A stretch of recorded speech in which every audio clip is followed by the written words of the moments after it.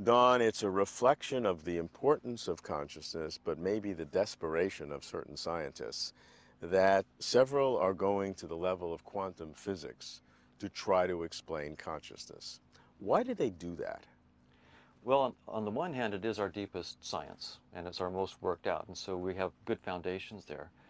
But we've not been able to figure out how to connect consciousness to neural activity at the higher levels, at synaptic levels, uh, ions crossing membranes. We haven't been able to do it Neural there. circuitry. Neural circuitry, that's all right.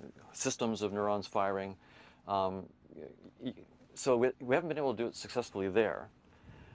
And so then the idea is, well, maybe something at the quantum level, which is very, very basic physics.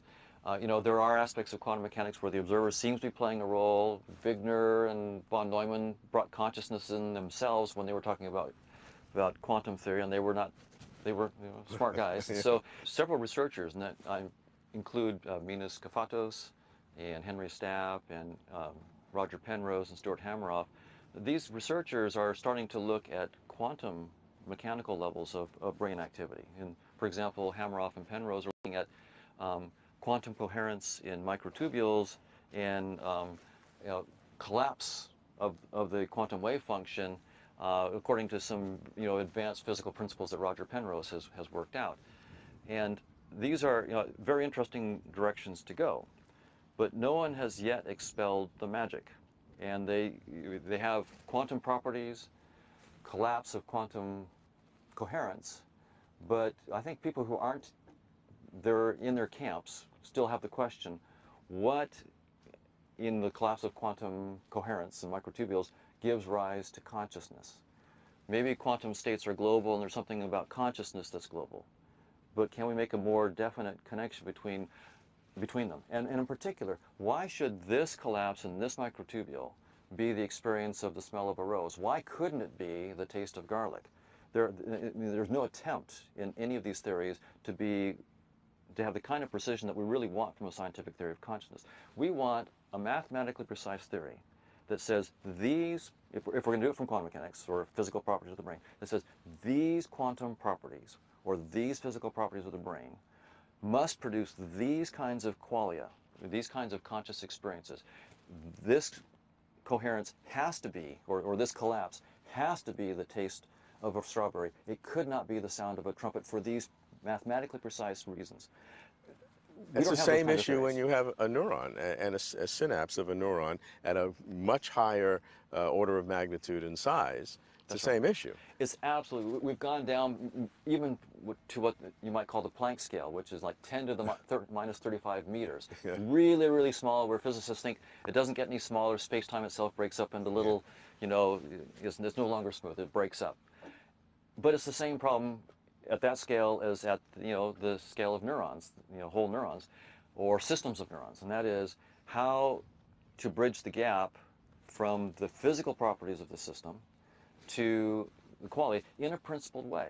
I mean, let's not fool ourselves. We want we're scientists.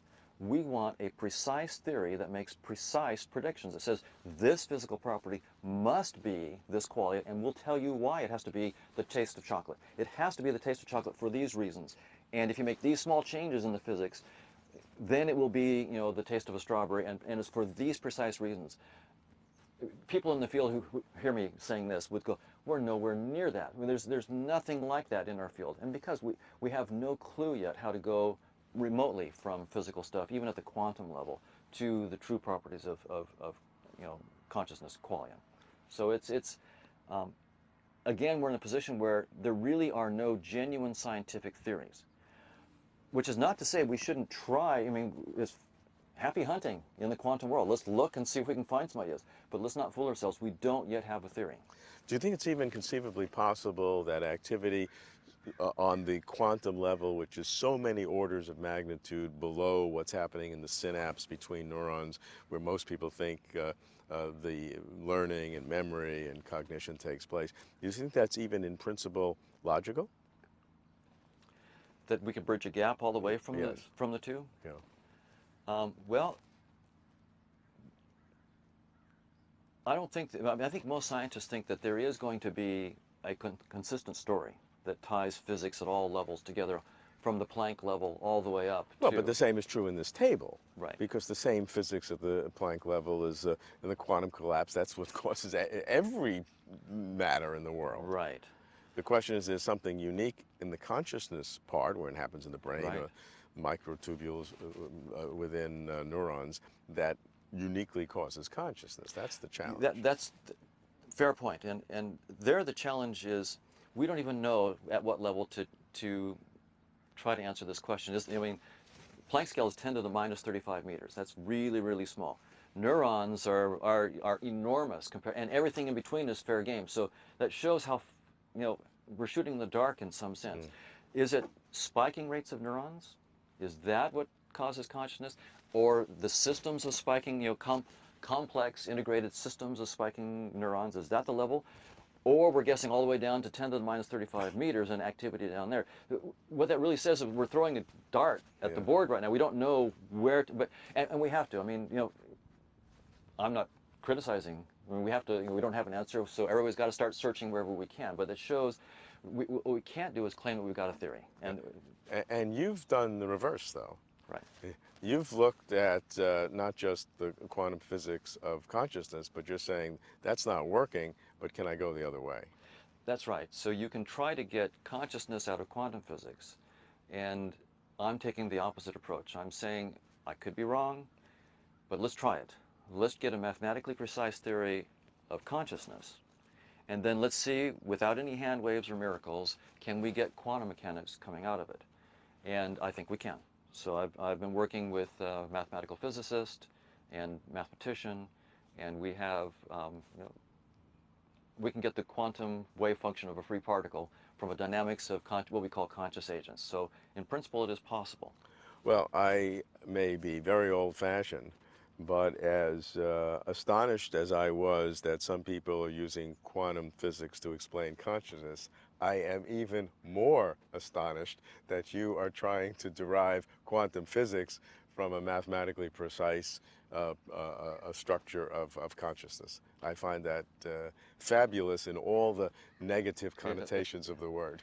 I, I, I certainly understand, and so the burden is on me to have a mathematically precise theory. Um, so I do have a mathematically precise theory of conscious, what I call conscious agents, involving um, things called Markovian kernels and so forth. But um, the real proof of the pudding is, can I actually get, for example, um, spinors in quantum mechanics? Can I get uh, Penrose's spin nets coming out?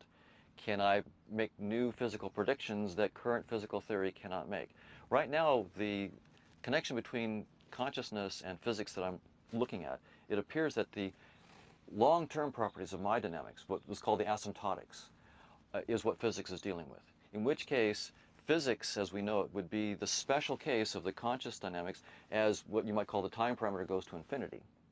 In the same way that classical physics um, comes out as the limit of relativity as the speed of light goes to infinity, or as you know, in the case of quantum mechanics, as, as Planck's constant goes to zero, you get classical mechanics coming out.